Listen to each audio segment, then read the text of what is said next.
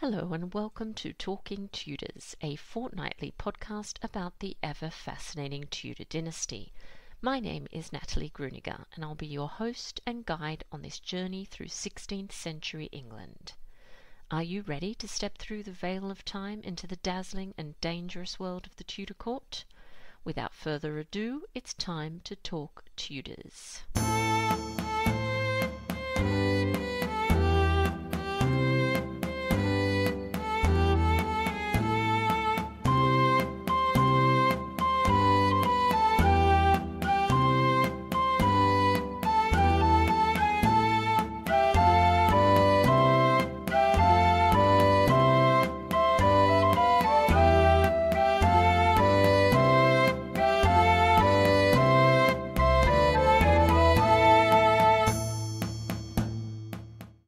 Everyone. Welcome back to another episode of Talking Tudors. I'm your host, Natalie Grueninger. Thank you so much for joining me today.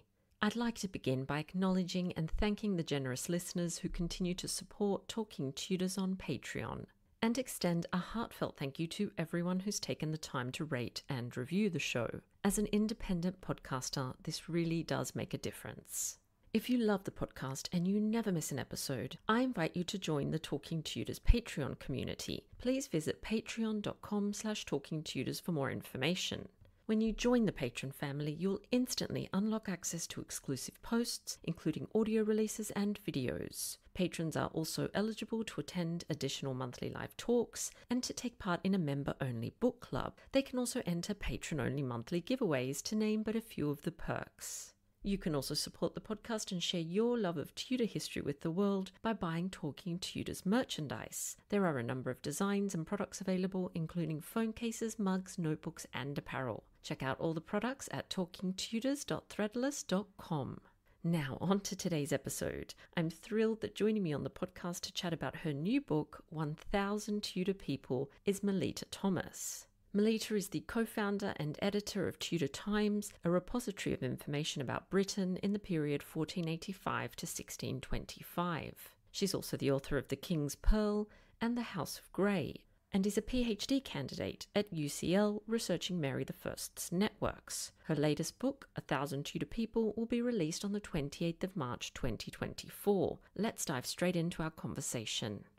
Welcome to Talking Tudors, Melita. How are you? I'm really well, thank you, Natalie, and thank you so much for inviting me to join Talking Tudors again. I have to say, the podcast has gone from strength to strength since I last took part in it. You've really massively expanded, and it's fabulous to be asked back. Thank you so much. I have been looking forward to talking to you. Let's just start with an introduction because it has been a little while since you've been on the podcast. So, would you mind just saying hello to everyone and telling us a little bit about you and your background? Hello, everybody. Um, I'm Melita Thomas. I've got a master's in historical research from London University, the Institute of Historical Research, and I'm currently uh, working towards my PhD at UCL, where I'm in the early modern history department looking at Mary I and her social and political networks. I'm the author of two books previously, and this is the third one that we're talking about today. The first one's The King's Pearl, Henry VIII and his daughter Mary, then The House of Grey, Friends and Foes of Kings, and um, my new one, which is A Thousand Tudor People. I'm also the co founder and editor of the online website Tudor Times, which hopefully some of you will have come across, and the co author of the Tudor Times Books of Days series. Yeah, I've been quite busy in the last few years because I only started this as a second career. You have been very busy, mm-hmm. and the Tudor Times is a wonderful, wonderful resource. So I hope people have heard about it. So let's talk about A Thousand Tudor People, your latest book. So, can you tell us a little bit about what inspired you to write this? And also, maybe tell us a little bit about how you've actually structured the work as well. Well, there's sort of two strands of how it started. I don't know if you remember a few years ago, there were those lovely books, A Thousand Places to See Before You Die, A Thousand Villas to Stay in, really lovely glossy pictures, which were kind of comprehensive guides to whatever the thing they were talking about. And I thought that would be, you know, a fabulous thing to do for, for the Tudor age. And we talk about the kings and the queens and the politicians and Thomas Cromwell and all the rest of it. And they're all really interesting and sort of larger than life people. But actually, they didn't really impinge on everyday life any more than royalty currently does. There are many, many other people out there living their life, contributing to society, uh, doing wonderful things. It was an age of discovery and of growth and of changes in knowledge. And there are just so many other people out there who I wanted to actually draw attention to. And also, you know, sites like the Tudors, you know, shows like that, they kind of make you cringe. But they also have characters, and you, and you think, well, who were they? You know, who was the Duke of Norfolk? Who was the Marquis of Winchester? What was their background? So I also wanted it to be a guide to some of the real Tudor people that you come across in books or series or, or, or movies to give some facts, because what you see on things like the Tudors aren't always facts. I'm sorry to say. no, not always. That's right. um, and so, given that there are lots of people that we could talk about and that you could have included included, how did you go about selecting the people? Well, I, I thought it would be hard to find a thousand interesting people, but actually there are dozens on the cutting room floor. I've got 250 lying in wait. Should another volume ever be required, although I'm not sure that it would be. You, I mean, you have to have the, the kings and the queens and the famous politicians. But after I'd gone through that, so I did the monarchs and their consorts, then the royal family, and then the key politicians, so Cecil and Cromwell and Wolsey and Gardiner and the usual suspects. But then I picked some famous people from other walks of life. So I think Shakespeare, Drake, John Dee, I think were three of the first ones. And as I researched them, other people's names came up. So, for example, Shakespeare, then you've got the other players, you've got Ben Jonson and Kit Marlowe and uh, Thomas Nashe and Thomas Kyd. And as you worked out from them, more people came to light. So there's the Shakespearean, the people who own the theatres, Philip Henslowe and his sons, some of the actors, the, the fool, um, Will, who walked to, to Norwich or danced all the way to Norwich. That was his claim to fame. He danced all the way from London to Norwich. And so you keep finding new people and then they lead you to other people. I wanted as many Welsh people as I could find, being Welsh myself and having a Welsh publisher. So I thought that would be nice. And again, a lot of the history we see is very Anglo-centric. So I did want to look at people who weren't just in the southeast of England and particularly Welsh people. And I made a real effort to incorporate as many women as possible. Now, clearly, women were not so prominent in society as they are now. And very often, the only women you do find are in there because they were recorded, and they were only recorded because they transgressed in some way. So the women do look disproportionately criminal, I'm afraid to say, although they aren't you know there are other uh, other women who did interesting things but i managed to get about a third women which you know i thought was was was pretty good. I, there was no possibility of getting it to be 50 50 but I, I, felt you know getting to a third wasn't wasn't too bad and was probably reflective of of everyday life. Uh, women weren't necessarily as browbeaten as we think they were particularly in the the middle classes the gentry class where they were very active sort of economic members of society and the merchants wives and the women who ran businesses on their own account. So um, yeah, so that was really how I tried to put them together. Wonderful. And having had a little peek at the book mm-hmm. myself, it's absolutely extraordinary. And it's so obvious that you've put in a lot of research and, and years, you were just telling me earlier, of research. So, can you tell us a little bit more about that process and also maybe talk a little bit about some of the sources that you used and some of the challenges perhaps that you also face that we all face when, write, when writing our books and even breakthroughs as well? Well, I, I wanted to set the scene as well. So, it's not just about the people, there's a section at the beginning of the book about the Tudor world. What what was the world like for these people? And one of the reasons why the Tudor age is so interesting is the amount of change. I mean, in 1485, your life probably wasn't that different from your great grandparents in 1385. By 1600, it had changed, not out of all recognition, but enormously. I mean, the, the Reformation clearly altered society from top to bottom. Printing, the increased availability of education, the new plants that came from the New World, the looking out towards the Americas, particularly for, and this is a book about Tudor, so it's England and Wales and Ireland, it's not Scotland, but the the looking out to the to the West changed people's perceptions of their place in the world and, and their country's place in the world. The sort of Whig version of history of the sort of isolationist nature of, of English society. And a lot of that began in the, in this period rather than the feeling they're part of Christendom. So I also wanted to think about everyday things. What do people eat? Uh, what was the money like? Why why are they all called Thomas or John? And why are the women all called Elizabeth or Anne?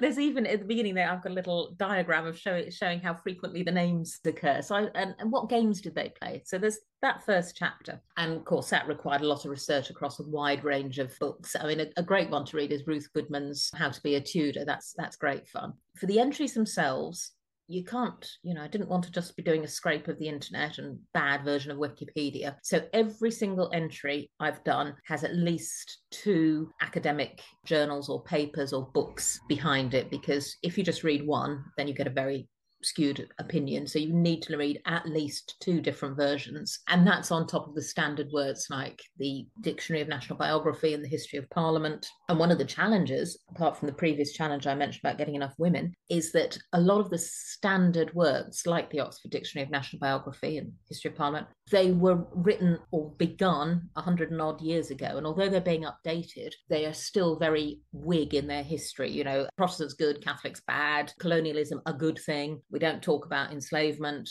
You know, so so it's a very little mention of the Tudor atrocities in Ireland. Don't really hear very much about that. So I wanted to actually get some much more up to date scholarly thinking into it. And I was lucky because I'm a postgrad student, a, a doctoral student at UCL. I have access to the incredible resources that UCL has, all of the unpublished theses, the journals, the online journals, the state papers online, amazing amounts of data out there. If you are in the fortunate position of being able to access them. Yes, I have to say, as an independent researcher, Melita, you can just imagine the amount of money I spend uh, on yeah. books and articles and just, yeah, yeah astounding, I, really. I was previously in that position before I started doing the masters for my first book. And yeah, and you either physically have to go somewhere and then you can only do so much in a day. So I, I feel for you, Natalie. I'm just working out how I can click on. Yes. to being affiliated to the university. And so you obviously talked about the challenge of, you know, trying to find women to to include in your book.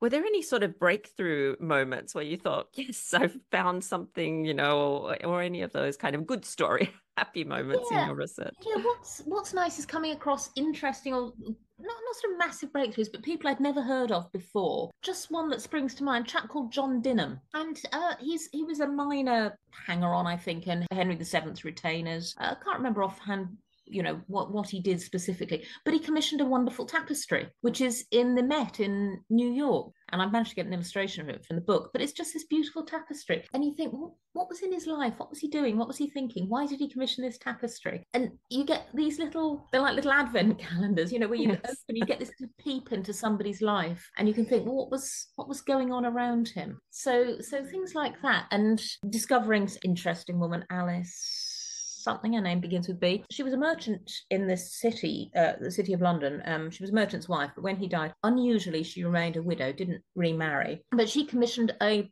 painting of herself and her sons, which is the first picture in English art of a woman reading. That you know, that's not the Virgin Mary. That is a, a, secular secular woman reading. So she was quite a hot Protestant. So was it was she saying something about her religion, or was it just a prop? Is all the questions that it makes you ask about people and seeing them as real people, not as bit parts in the psychodrama of the Tudor monarchs talk to us a little bit about some of those women that you have featured. Maybe if they're the lesser known ones, that would be really great too. Well, there's one of the most sort of appalling cases in a way. Alice Brigandine, she was, and there are all sorts of tracts and ballads written about this because Alice murdered her husband. She wasn't terribly competent. She was, she was actually the stepsister of Lord North, who was in government both un- under Mary and under Elizabeth. And she married her stepfather's one of his um, apprentices because he he was a city merchant. But anyway, she didn't she didn't like him very much, and he was a bit reluctant to settle her jointure on it. So she took a lover.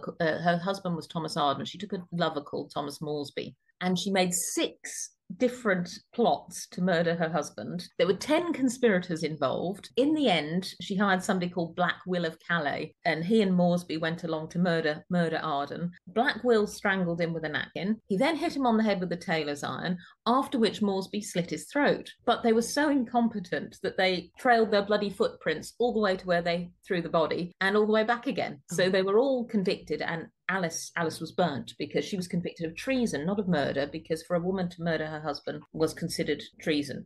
So not a nice story actually, but but so kind of extreme that you know you can't help taking notice. Another one I like is Thomasine Bonaventure, her name was, and she was she came from the West Country, from Cornwall, I think, and she married three master tailors in succession And the third one was Perivale, per- his name was, and he was Lord Mayor of London in 1498. So she was, you know, high up in the city hierarchy. But she's the first woman below the rank of nobility to found a school. So she founded a grammar school in her home parish of um, Week St Mary in Cornwall. You know, you just think of these women and they've got some money and they've bettered themselves and they're and she's sharing that with with her own parish most of the women who aren't criminals are involved in education, which is where where they're recorded, of course, because they're in the founders list. Another one, uh, Catherine Hussey, she was the wife of Sir Reginald Bray, who was one of Henry VII's key money men, and she was a co-founder along with her husband and Bishop Alcock of Ely of Jesus College and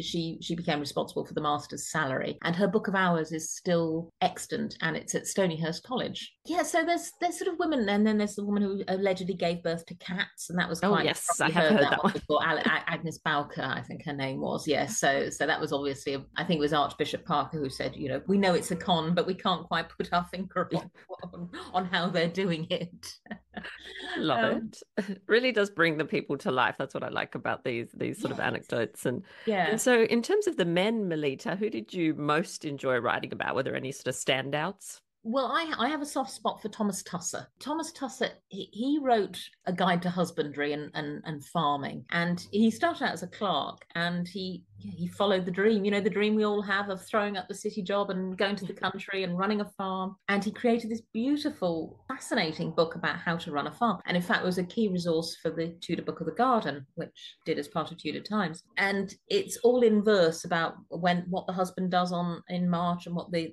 so the, the husband and the good wife. She looks after the dairy and the poultry and it's all in verse and it's you know quite practical. But poor old thomas you know it's a case of do as i say not as i do because he, he did actually go broke and have to go back to the city and take up his his clerical job again. But i like him because i like gardening. Another interesting chap is Twm Sion Cati. He's a great Welsh hero. He's a, a kind of a Robin Hood sort of a, a, character, although I'm not sure he ever gave any money to the poor. But he he robbed his victims by by conning them. So the most famous story is he stole a bull and dyed its coat, took it to market, and sold it back to its original owner. So ah. the original owner, he's taking he's leading the bull home. The dye starts to come off, and he realizes he's been tricked, and he knows it's Twm Sion Cati. So he goes to Twm's house and he gives his horse to, to, to a beggar who's sitting sitting nearby. So it gives the reins of the horse to hold while he goes in to look for Twm. Now the beggar is actually Twm in disguise.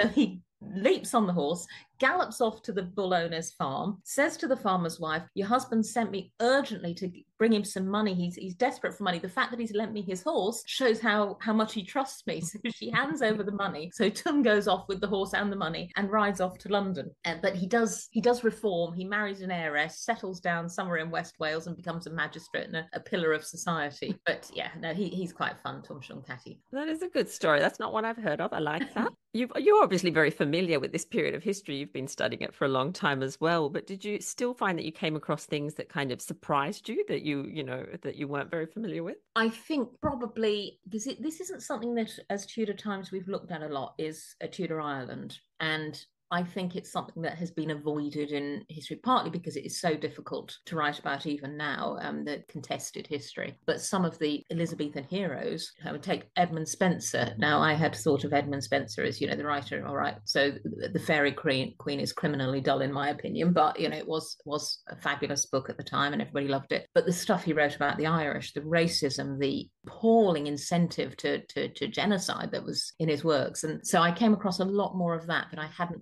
really been aware of or not wanted to, to look at. So that's, and I certainly hadn't associated with Edmund Spenser. Other interesting things. Oh, I think actually that I think they all travelled a lot more than we thought they did. So you have the idea that everybody stayed in their village and never went far from home. But certainly, not the very poorest people, but even at quite quite low levels of, of society, uh, you know, sort of economically. People moved around a lot, a lot more than you think they did. They went to the hiring fairs and they went to different farms and they moved around. So that that surprised me. And the number of, say, gentry, middle class ranks that travelled abroad. And you do see I mean, you see it in government. The, the number of men, I mean, you know, the Tudor new men, they did come from quite humble beginnings. A lot of them. I mean, obviously Wolsey and Cromwell are the most obvious examples. But yeah, there was there was more social mobility than perhaps we envisage certainly for men, women you know have to married married equal or up whereas whereas men were a bit more more flexible i suppose. Yes i actually came across a similar thing and now i can't remember where i, I saw it or read it but it, it was along those lines that women actually traveled a lot more for pleasure than we yeah.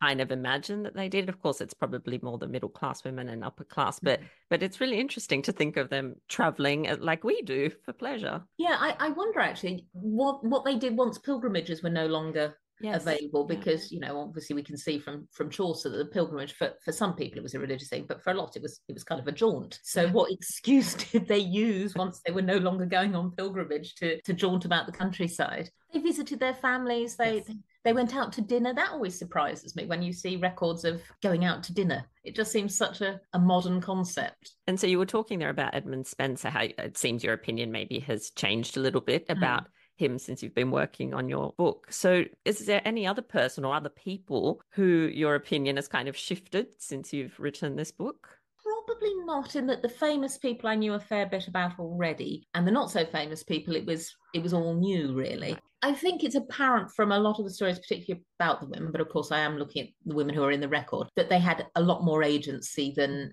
than we think. And I suppose all of the anti-women rhetoric that you read is partly because they were doing their own thing and the men didn't like it. Actually, oh, there was one chap now, he, he's a bit of a hero, actually, another Thomas, because as I demonstrate with my little pictogram of the names, they're all called Thomas. Thomas Elyot. Now you might have come across him. He was a, he was a philosopher, I suppose, a writer, and he was loosely involved with the Duke of Somerset's government under Edward VI, and he wrote a lot of literature about the Commonwealth and how to live in society well. Uh, but one of his best known books is On the Defence of Good Women, and he talks about how women are not inferior creatures and they're equal of men and intellectually and, and so forth. So he, he ch- does challenge some of the misogyny, but he also asks a really interesting question about how we should live in society and how, how we should all speak truth to power and that you should do it even if even if you know you're going to be punished your duty to your to your prince to your country is to speak truth even if you know that that will end in you being punished or in, in the particularly nasty ways that tudor governments came up with.